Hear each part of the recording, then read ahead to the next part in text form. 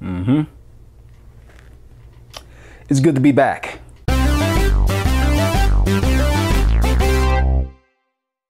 Howdy, hey there, and hello. I'm Montez McCrary at TezElNerdo from thepractitionerd.com, and welcome to PractitioNERD Documented, or Doc'D, a short form documentary series on various topics related to architecture, technology, video games, and the world of professional wrestling.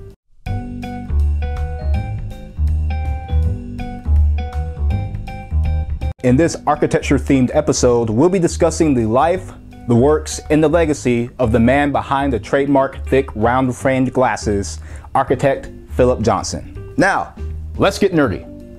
Part 1 Who is Philip Johnson? Philip Cortelyou Johnson was born on July 8, 1906, in Cleveland, Ohio, and was an influential American architect descended from the Jansen family of New Amsterdam which included among his ancestors the Huguenot Jacques Cortelyou, who laid out the first known town plans to New Amsterdam for Peter Stuyvesant. But he's probably best known for his, uh, his postmodern work from the 1980s and beyond, as well as his collaborations and partnership with John Burgee. Johnson interrupted his education at Harvard with several extended trips to Europe, and with his visits to Chartres, the Pantheon, and many other ancient monuments, it ended up really influencing his fascination with architecture. And then later on, he would meet architect Ludwig Mies van der Rohe in 1928, who was designing the German pavilion for the 1929 Barcelona International Exposition. And at the meeting, it helped Johnson form this lifelong relationship of both collaboration and competition. In 1932, he founded the Department of Architecture and Design at the Museum of Modern Art in New York City. In 1978, he was awarded the American Institute of Architects Gold Award, and in 1979, the first Pritzker Architecture Prize. In 1961, he was elected to the National Academy of Design as an associate member and became a full academician in 1963. Part 2 what is Philip Johnson best known for? Johnson designed his residence, the 1949 Glass House, in New Canaan, Connecticut, and it was a profoundly influential work of architecture, as the building sides are just glass and charcoal painted steel. There's also a brick floor that's not really flush with the ground, but actually just sits 12 inches above it. And the interior is a wide open space divided by low walnut cabinets and there's even a brick cylinder, which is actually the only object in the house that reaches from floor to ceiling, that contains the bathroom. Johnson would later join Mies van der Rohe as the New York Associate Architect for the 39-story Seagram building in 1956, as Johnson was very pivotal in steering the commission toward Mies by working with Phyllis Lambert, the daughter of the uh, CEO of Seagram.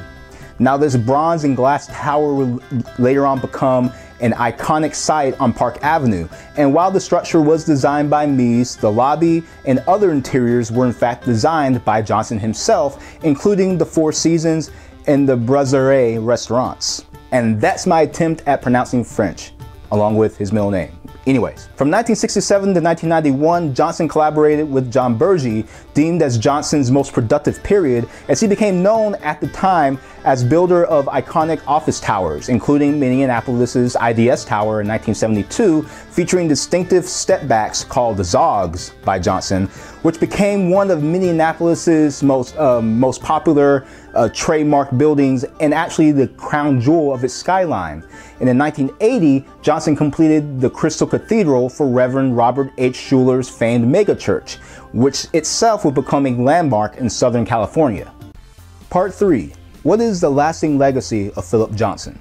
Johnson's architectural work balances between two dominant trends in post-war American art, the more serious minimalism and the more populist pop art.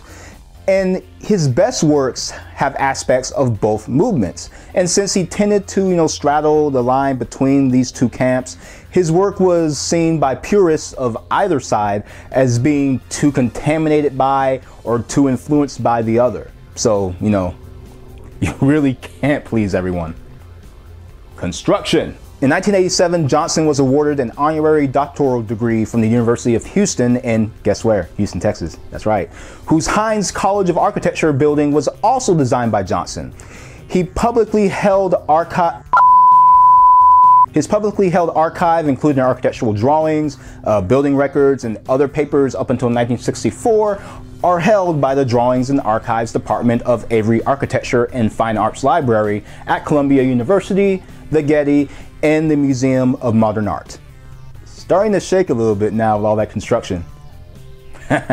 Johnson is mentioned in the song Through These Architects' Eyes on David Bowie's 1995 album Outside, and he appears in Nathaniel Kahn's My Architect, the 2003 documentary about Kahn's father, famed architect Louis Kahn. Johnson died in his sleep at his glass house retreat on January 25, 2005 at the age of 98 and was survived by his partner of 45 years, American art curator, collector, gallerist, and critic David Whitney, who died later that year at the age of 66.